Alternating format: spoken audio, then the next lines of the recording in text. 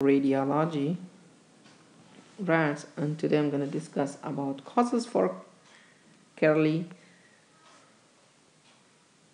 lines okay?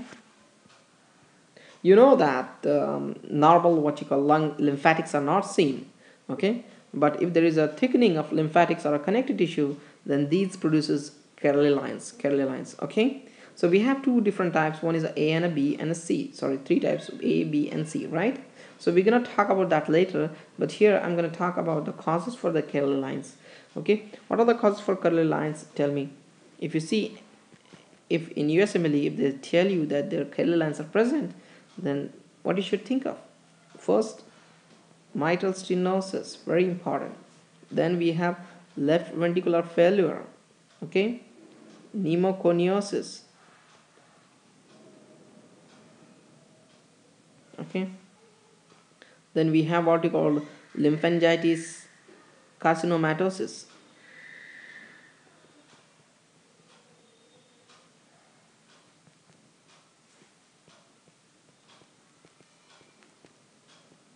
Matosis. Okay. And the other causes can be there like interstitial fibrosis okay.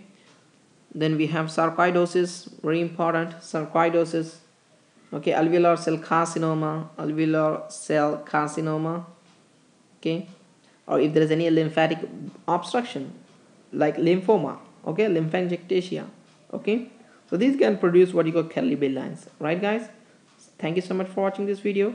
So try to remember Kerley lines means think of mitral stenosis left ventricular failure think of uh, pneumoconiosis think of uh, lymphangitis carcinomatosis or interstitial fibrosis sarcoidosis alveolar cell carcinoma lymphatic obstruction. Okay guys so thank you so much for watching this video. Take care